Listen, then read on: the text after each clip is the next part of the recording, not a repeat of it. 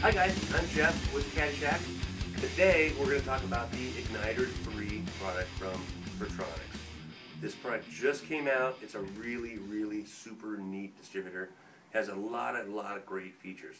We're going to show you how we install it. We're going to show you some things about it, what's involved with it, and um, talk about the features that it has. First of all, it comes in the billet model, as the other Pertronix do. Uh, which is really super neat. You can change all sorts of uh, springs and stoppers and, and custom curvy distributors, which we do on high performance engines like this one. It also comes in a 009 style or the popular SVDA style distributor. Uh, let's pop the cap off this real quick so we can see inside. Cap, rotor, dust cover comes off. The Ignitor 3 is inside here. Um, the module here this is where we adjust our digital rev limiter. Super easy. I'll show you how to do it on the engine that's on the engine stand. This is our indicator light. Um, super easy, super accessible, neat product.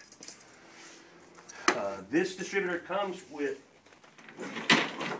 the distributor itself comes with multiple sparks. In the past, we've had to have, we've had to have install a separate box to have multiple sparks to ignite the, the flame as good as this thing does. And It's all built right into the distributor on this one. It has a digital rev limiter, which we'll go through how to install or how to set up. Um, and another really nice thing about this, and I know nobody's ever done this, if you accidentally hook the positive and negative wires up backwards, this has a reverse circuit protection feature already into it, so you won't cook your distributor by doing that. Now it has variable dwell, which means it will vary the dwell and the timing according to uh, your, the curve and how many RPMs you're running at. Uh, it's compatible with a 60,000 volt coil, most other coils. Uh, this particular one is the Pertronix HC coil, the high capacity coil. Um, this is 60,000 volts and will provide up to four times more spark energy to the spark plugs than standard coil with standard points. So really, really super neat. Uh, right now, we're going to take the cap off, which I've already loosened the screws. So let me put that over there. And um, normally, this is going to be installed in a car for most guys. If you're building an engine on an engine stand, uh, you can actually program this with a 9 volt battery. If it's installed in the car, all the wires are hooked up already, you have a 12 volt source, make it super simple to adjust. We are going to hook this up to our 9 volt battery with a couple test leads and alligator clips. Ding.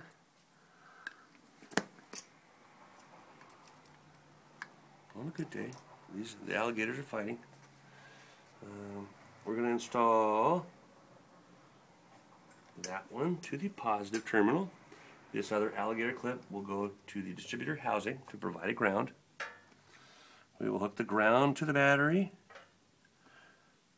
and we will hook the positive to the 9 volt battery.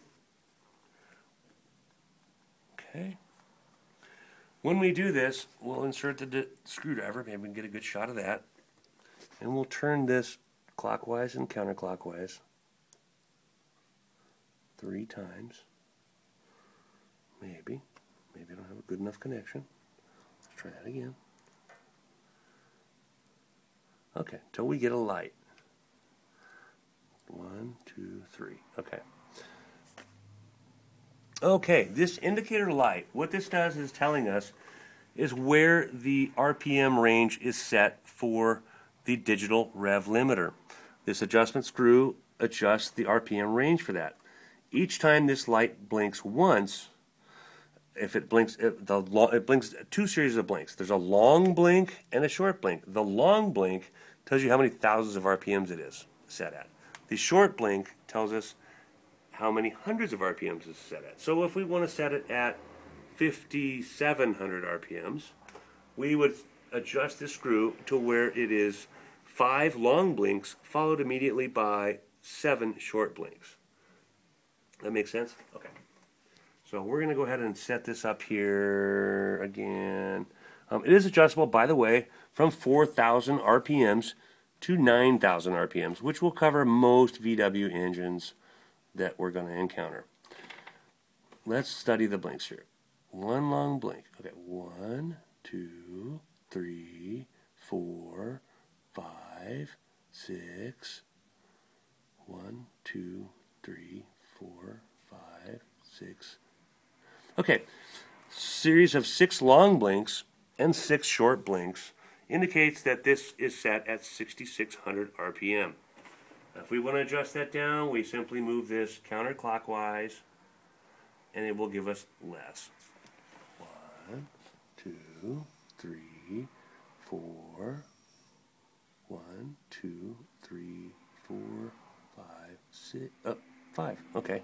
So now it's set at 4,500 RPMs. We'll continue adjusting this until we're totally happy to where the um, RPM range is set for to protect our engine. When we're done, we simply remove power from it, or we turn the key off, and it's set, and it's done. It will not move. It's set to where it's supposed to be set.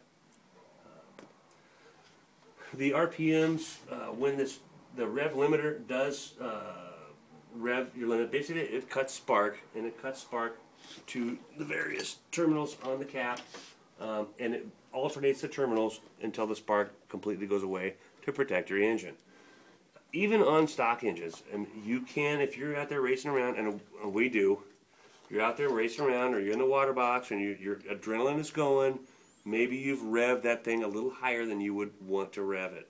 This is going to protect your engine, which is a very costly expense, from over revving it from your foot. If you miss a shift, uh, if you're on the track, if you're in the dirt, um, this is going to protect your engine.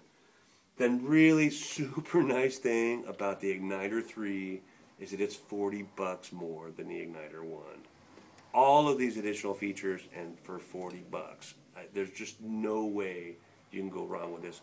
We're super excited about it and Pertronix has done a terrific job with this. Thanks for in, uh, joining us. Um, again, I'm Jeff with the Kaddie Shack and we will see you at the track.